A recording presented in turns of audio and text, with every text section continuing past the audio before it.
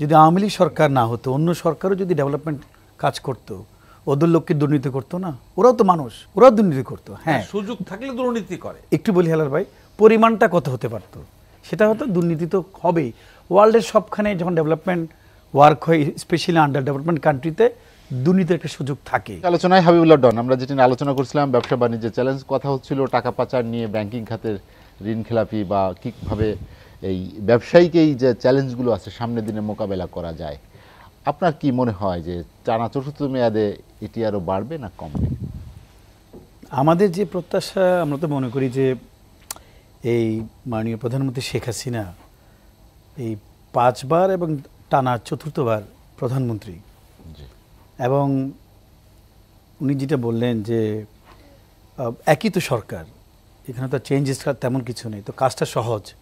নতুন সরকার হলে নতুন দল ক্ষমতায় আসলে অনেক কিছু তার চ্যালেঞ্জ হতো মোকাবেলা করার। তো ইনি তো ইউজ টু গত পনেরো বছর ধরে এক টানা সময় পেয়েছেন। পনেরো বছর আবার কিন্তু কম সময় না দীর্ঘ সময়। মালয়েশিয়ার মাহাতির মোহাম্মদ মানে বাইশ বছর ছিলেন ক্ষমতায়। টোটাল মালয়েশিয়া চেঞ্জ করে ফেলেছে। এখন দুর্নীতি কিন্তু সবখানেই আছে। মালয়েশিয়া যান মালয়েশিয়া তো খুব দুর্নীতি। বাংলাদেশেও এটার বাইরে না কিন্তু পরিমাণটা বেড়েছে এটা সত্যি কথা। এখন অনেকে বলে ডেভেলপমেন্ট হচ্ছে ডেভেলপমেন্ট মানে দুর্নীতি। আচ্ছা আমি একটা প্রশ্ন রাখি। যদি আওয়ামী লীগ সরকার না হতো অন্য সরকারও যদি ডেভেলপমেন্ট কাজ করতো ওদের লোককে দুর্নীতি করতো না? ওরাও তো মানুষ। ওরাও দুর্নীতি করতো হ্যাঁ। সুযোগ থাকলে দুর্নীতি করে। একটু বলি হেলার ভাই পরিমাণটা কত হতে পারতো? সেটা হয়তো দুর্নীতি তো হবেই। ওয়ার্ল্ডের সবখানে যখন ডেভেলপমেন্ট ওয়ার্ক হয় স্পেশালি আন্ডার ডেভেলপমেন্ট কান্ট্রিতে দুর্নীতির একটা সুযোগ থাকে। এখন পার্সেন্টেজটা কত হবে, সেটাই নিয়ে হয়তো কথা থাকতে পারে। যখন কাজ হবে তখন যেই দলই ক্ষমতায় থাকুক, কম বেশি এটার একটা কেকের ভাগ পায়, এটা অস্বীকার করার কিছু নাই। তবে সবচেয়ে বড় চ্যালেঞ্জ আমি মনে করি যে এই সরকার, আমি একটু আগে আমার বক্তব্যে বলছিলাম যে অনেক কিছু পজিটিভ করেছে, পনেরো বছর সময়, দীর্ঘ সময়। এই দীর্ঘ সময়ে অনেক ডেভেলপমেন্ট করেছে। অর্থনীতির যে আমি কাটাগুলো দেখছিলাম আস্তে আস্তে লাভ দিয়ে কিন্তু উঠেছে। গত এক দেড় বছর ধরে এটা থেমে গেছে কিংবা একটু ডিগ্রোথ আছে। অস্বীকার। নেই। এটা সাময়িক।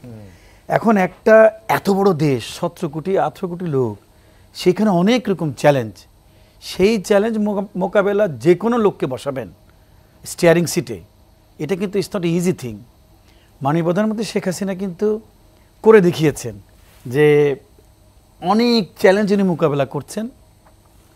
এবং অনেক সেক্টরে উনি কিন্তু ডেভেলপ করেছেন। হ্যাঁ আমাদের সবচেয়ে বেশি ব্যবসায়ীরা একটা জিনিস নিয়ে আলোচনা করি সেটা হলো দেখুন সিক্সটি ওয়ান আছে তফসিলি ব্যাংক। জি।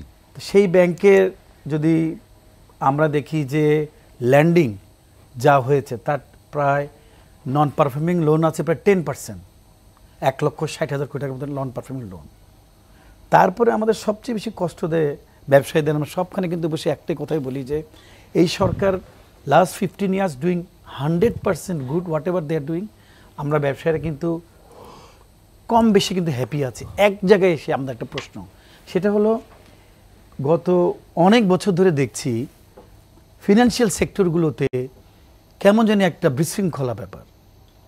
আপনি ফিনান্সিয়াল সেক্টর বলতে লিজিং বলেন ব্যাংকগুলো বলেন। ও মনে হয় যে ইচ্ছা মতো লোন নিয়েছে ইচ্ছা মতো টাকা নিয়েছে ইচ্ছা মতো পাচার করেছে। সবচেয়ে বড় কথা হলো যে, টাকা যদি দেশে থাকে, কর্মসংস্থান হয়, মানুষ ব্যবসা বাণিজ্য করে, কাজ করতে পারে, টাকা বাইরে নিয়ে গেলে তো এটার কোনো আর কোনো কিছুই হয় না। দেখেন, আজকে ডলার সংকট ডলার সংকটটা হলো কেন? আমি কেন এলসি করতে পারব না? গভর্নমেন্টের তো অনেক অনেক পজিটিভ কাজ করেছে। এই জায়গায় এসে কেন বাধা হলো? নিশ্চয় এক্সপোর্টের ঘাটতি আছে। আমাদের রিমিটেন্স যেটা আসার কথা আসছে না প্রপার চ্যানেলে রিমিটেন্স তো আমি মনে করি যে প্রবাসী ভাইরা যে টাকা পাঠান আমার মনে হয় সিক্সটি পার্সেন্ট কিন্তু প্রপার চ্যানেলে পাঠান না। এটা হুন্ডির মাধ্যমে আসে। তো এই জায়গাটা কে আটকাবে? আটকানো তো উচিত। কেন আসে না সেটা বলেন।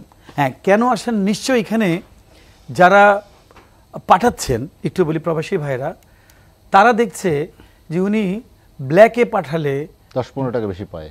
দ- পাঁচ টাকা, একটা লোক যদি পাঁচ টাকাও বেশি পায়, সেখানে ওই বেচারার জন্য তো এক হাজার ডলারে পাঁচ টাকা অনেক টাকা পাই। এটা আমাদের না লাগতে পারে, ওর জন্য তো অনেক টাকা। ইভেন ওই সুযোগ যদি আমি ওই দেশে থাকতাম, আপনিও থাকতেন, আপনি যদি চিন্তা করতেন যে আমি ব্যাংকে পাঠালে যা পাবো, তারে হুন্ডিতে পাঠালে পাঁচ থেকে দশ টাকা বেশি পাবো, আপনি তাই করতেন। এটাই স্বাভাবিক। এই জায়গাটা যদি না বন্ধ করে, তাইলে এই যে প্রপার চিহ্ন তো টাকা আসছে না। আসছে এইভাবে হুন্ডির মাধ্যমে এটাকে বন্ধ করতে হবে। আরেকটা বিষয় যেটা বলছিলাম দেখুন হেলাল ভাই একটা কথা বলেছেন যে আসলে দাম যখন বাড়ে পণ্যের ব্যবসারা কিন্তু প্রফিট করে না। আমি যদি আমার নিজের ব্যবসাটাই ধরি গাড়ির ব্যবসায় ধরি জি। আমরা গত দুই বছরে প্রায় thirty five to forty percent কিন্তু টাকার অবমূল্যায়নের কারণে দাম বেড়েছে। বাড়ার কথা। কিন্তু আমরা ব্যবসায়ীরা আপনি দুই বছর আগে যদি একটা ডাটা নেন যে এই দামে বিক্রি করতাম, সেই দামে বিক্রি করছি। আমরা বাড়াতে পারছি না। কেননা, মার্কেট তো খাচ্ছে না। আমি চাইলেই ফর্টি পার্সেন্ট বাড়িয়ে বিক্রি করব, ক্রেতা তো পাচ্ছি না, ক্রেতা কিনছেন না। কারণ অ্যাকচুয়ালি সব কিছু মিলে যখন কঠিন সময় যাচ্ছে, গত এক, দেড় বছর, দুই বছর ধরে, সেইখানে মানুষ কিন্তু কিছু কিছু আইটেম কিনতে গেলে অনেকবার চিন্তা করছে। আগের মধ্যে কিনছেও না। আমাদের ধরুন বিক্রি ড্রপ করে গেছে প্রায় ফিফটি টু সিক্সটি পার্সেন্ট বিক্রি ড্রপ করেছে। তার কারণ হলো চার পাঁচ মাস আগে মানুষ ভেবেছে যে হরতাল অবরোধ হচ্ছে ইলেকশন আছে তো যারা ক্রেতারা চিন্তা করছেন ইলেকশনের পরে হয়তো কিনবো আর একটু আনস্টেবল ছিল। এখন ইলেকশন শেষ হয়েছে আমরা আশা করছি কেননা সবাই তো আশা নিয়ে বেঁচে থাকি। ব্যবসারও আশা করছি যে হয়তো সামনের মাস থেকে ব্যবসাটা ভালো হবে। তো আমাদের এক জায়গায় এসে আমরা সরকারের কাছে সবচেয়ে বড় প্রত্যাশা যে ফোর্থ টাইম কনজিকিউটিভ টাইম চারবার এসছে মাননীয় প্রধানমন্ত্রী এবং উনি পারবেন। কারণ বাংলাদেশের অর্থনীতি যেই সাইজে নিয়ে গেছে, পনেরো বছর আগে ছিল একষট্টি হাজার কোটি টাকার বাজেট এখন হয়েছে পনেরো বছর পরে সাত লক্ষ একষট্টি হাজার কোটি টাকার বাজেট যেখানে পাঁচশো, সাড়ে পাঁচশো ডলার ছিল মাথা পিছু আয়, এখন হচ্ছে দুই হাজার সাতশো, প্রায় তিন হাজারের কাছাকাছি গেছে। মানুষের কিন্তু আয়ও বেড়েছে। এই যে বাজারে কোনো কিছু কিন্তু পচে যায় না কিন্তু। বাজারে আসে, মানুষের কষ্ট হয়, এটা অস্বীকার করি না। আমরা হয়তো ব্যবসায়ীরা চেষ্টা করি আমাদের ইনকাম থেকে আমাদের যারা এমপ্লয়ি আছে বাড়ানোর চেষ্টা করি। যে ওরা বাড়ায় কিনুক একটু শেষ করে দেই। তো আমাদের প্রত্যাশা সবচেয়ে বেশি প্রত্যাশা হলো যে ব্যাংকিং সেক্টরে যে অরাজকতা চলছে সেটা আটকানো উচিত এবং এখানে বড় একটা সংস্কার করা উচিত এই সেক্টরে সেটা আমাদের সবচেয়ে বড় প্রত্যাশা। জি।